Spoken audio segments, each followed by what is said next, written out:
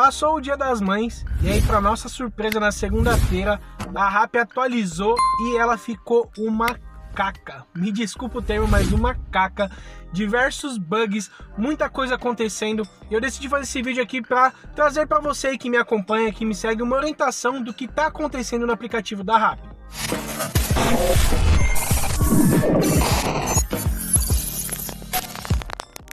Fala aí galera, beleza? Seja bem-vindo aqui ao canal, o Boris falando com você. Se você é novo por aqui, já se inscreve aí, deixa o seu like, isso fortalece demais eu estar tá trazendo novos conteúdos para vocês. Como eu disse aí, passou o Dia das Mães, o aplicativo da Hype atualizou, e na segunda-feira começou um desespero total. Simplesmente começou uma loucura no aplicativo. O grupo do Telegram, onde eu tenho aí do canal, inclusive se você quiser fazer parte aqui na descrição tem o um link do canal, o grupo do Telegram bombou porque o que estava acontecendo? As pessoas estavam recebendo uma corrida, né, uma entrega ali, só que após receber, um, dois minutos após receber, já estava vindo notificação que ela estava atrasada para chegar no local do estabelecimento para fazer a compra. E o que acabou acontecendo, não só aqui em São Paulo, mas no Brasil todo, diversas pessoas sendo tiradas dos pedidos aí porque não chegou a tempo no estabelecimento. E isso está acontecendo ainda, né? Não foi só na segunda, embora o aplicativo tenha atualizado ontem, estou fazendo esse vídeo numa quinta-feira, hoje é dia 13 de maio de 2021. Embora o aplicativo tenha atualizado, ainda está continuando esse bug. Basicamente o que acontece? A pessoa recebe uma corrida, principalmente o pessoal de carro, e aí o aplicativo está falando que ele está atrasado para chegar no local e essa pessoa não consegue chegar. E aí muitos me perguntaram o que, que poderia ser feito, se tem algo para ser feito. E a resposta é que não, não temos praticamente nada a ser feito. Por quê? É um bug do aplicativo na atualização dos mapas da RAP. E esse bug está acontecendo geral Brasil afora. Tem alguns motivos, eu vou falar aqui nesse vídeo, fica comigo. Mas antes eu falar dos motivos, eu vou falar do que não pode ser feito. O que eu não oriento nenhum entregador a fazer, que é usar modos artificiais para burlar o GPS. Lá no grupo do Telegram, por exemplo, tem muitos lá que estão falando para usar um GPS falso, colocar ali um GPS falso.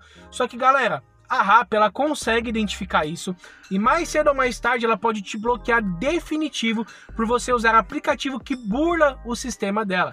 Ela deixa isso bem claro nos termos dela que qualquer tipo de aplicativo que burla localização, é, burla o horário, burla o aplicativo, isso é proibido e ela bane as pessoas que fazem isso. Então, muito cuidado. Então, isso não pode fazer.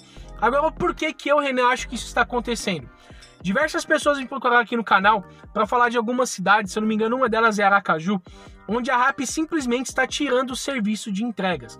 Pera aí, não é tirando o aplicativo da cidade, é tirando o serviço de entregas do motoboy, do entregador. O que, que ela está fazendo? O que essas empresas faziam lá no início, quando elas chegaram aqui no Brasil, basicamente o que elas faziam? Você podia pedir qualquer tipo de comida através do aplicativo e aí os restaurantes entregavam para você o mercado, né? Eles tinham que ter o um entregador deles. O aplicativo servia apenas para uma intermediação, onde a Rappi dava alguns cupons e tudo mais, e meio que as pessoas compravam pelo aplicativo. Só que ficava de responsabilidade do restaurante, do estabelecimento, da farmácia, do mercado fazer a entrega. E a Rappi em algumas cidades ela já começou a meio que retroagir isso. Então o que ela está fazendo? Você quer ter o seu restaurante dentro da RAP, o seu mercado, a sua farmácia? Ok, você pode ter. Porém, você vai ser o responsável por fornecer o entregador para fazer essa entrega para você. Aqui em São Paulo, por exemplo, nós sabemos que, por exemplo, a pizzaria Domino's, ela é gigante e ela está dentro da RAP. Só que a Domino's, ela tem os próprios entregadores dela. E diversos outros locais é assim, o, a, o próprio estabelecimento tem os seus entregadores. Então a RAP está fazendo isso em algumas cidades.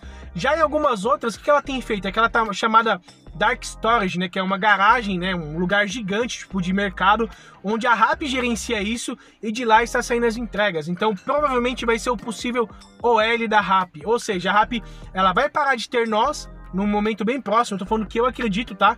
Vai parar de ter esse entregador que nós temos aí, é, o nuvem, vamos dizer assim, que fica para cima e para baixo, e vai deixar em cargo dos estabelecimentos ter os seus entregadores, ou o entregador trabalhar diretamente nesse centro de distribuição dela ali, fixo para ela, e aí vai ter esses dois tipos de modalidade. Por que eu tô falando isso, tá? Porque eu acho que vai acontecer e a RAP ela tá sendo processada aí pelo Ministério Público, é vínculo empregatício e diversas coisas que o pessoal tem descido a lenha na RAP aí, né? Processado mesmo. Então eu acho que provavelmente ela vai atualizar nesse sentido. Tá, Renan, mas beleza, mas o que isso tem a ver com o bug?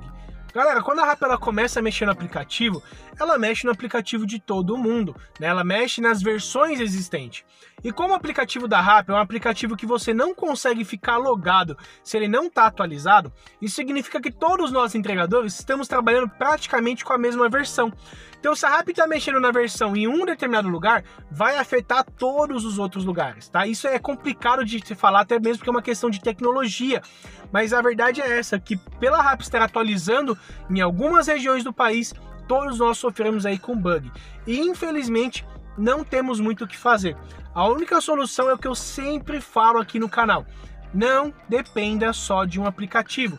Tenha todos quantos você puder, todos quantos você puder trabalhar, porque se a RAP tá com esse problema, tá dando esse bug, deixa ela de lado por alguns tempos, vai trabalhar em outro, porque isso você faz primeiro, a empresa vê que tá faltando entregador, então ela agiliza para arrumar o problema dela e também faz com que você não fique parado e não passe raiva, né? Tem um rapaz no grupo do Telegram que pelos áudios dele eu acho que às vezes ele vai ter um infarto de tão bravo que ele fica com a RAP. Com razão, não tá errado, tá certo ficar bravo mesmo. E a minha intenção aqui é que você, entregador, não perca a sua razão, não perca a sua paz por culpa de um aplicativo que pouco se importa, tá? Pouco se importa.